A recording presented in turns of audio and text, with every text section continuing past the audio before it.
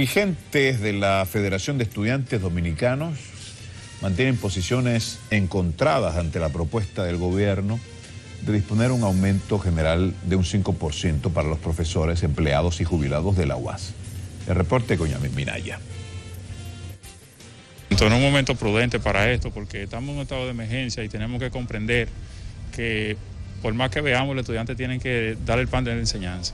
Más de 200.000 estudiantes podrían ser los perjudicados si los profesores de la Universidad Autónoma de Santo Domingo no llegan a un acuerdo. Para el presidente de la FED, el llamado a paro indefinido que plantea la Federación de Asociaciones de Profesores de la UAS y la Asociación de Empleados Universitarios no es la solución para la crisis que enfrentan. Jimmy Zapata indicó que lo más oportuno es que el profesorado acepte el 5% ofrecido. O sea, a ustedes se le ha hecho una propuesta y ustedes la rechazaron porque ustedes tienen en su mente que tienen que hacérselo un aumento significativo. Este país no está en estos momentos en condiciones para estar haciendo aumentos. Vamos a dialogar, pero con la sinceridad. Ustedes están afectando simplemente a los estudiantes. O sea, al estudiante de la UAS que está entrando ahora y ve este paro, lo que quiere es irse una universidad privada. De ese planteamiento difiere el secretario de Bienestar Estudiantil de la FED, Ángel Beltré, quien calificó como pírrica la propuesta de aumento y recordó las carencias que tienen los estudiantes al momento de tomar las clases virtuales. Que el gobierno le proponga a los, a los profesores un 5%, tomando en cuenta las exigencias que están haciendo ellos, es una burla. Simplemente una burla, porque no se trata de un 5%.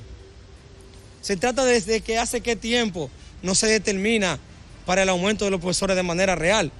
Nosotros estamos exigiendo al gobierno que nos cree las condiciones de tener conectividad y los aparatos electrónicos que nos permitan llevar un semestre con calidad. Mientras que el ministro de Educación Superior, Franklin García Fermini, tras calificar como abusiva la demanda de hasta un 40% de aumento salarial por parte de profesores y empleados, aseguró que no están pensando en los estudiantes que son los más afectados. Y eso tendría un impacto financiero, ese aumento que ellos plantean, de más de 3.600 millones de pesos algo inconcebible. Hay muchos estudiantes aquí que virtual se han retirado. Imagínate ahora mismo que no la quieran dar eh, eh, porque los profesores no quieren. Que los estudiantes aún no se han adaptado al sistema.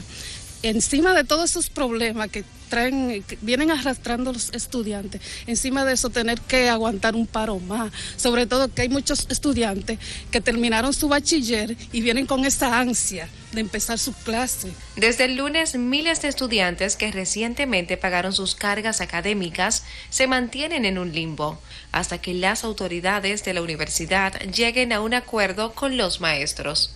Jack Minaya, CDN.